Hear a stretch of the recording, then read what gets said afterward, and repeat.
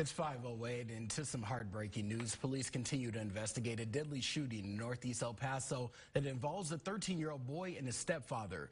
The shooting happened on Monday morning at the L.A. Miranda apartment complex on Macomb Street. This is near Sean Haggerty. Police blocked off a building as investigators searched inside the apartment for clues. Detectives identified the victim as 31-year-old Alan Edwards. Investigators say that he died at the scene after being shot several times. The shooter was identified identified as his 13 year old stepson. Police say that no charges have been filed at this time.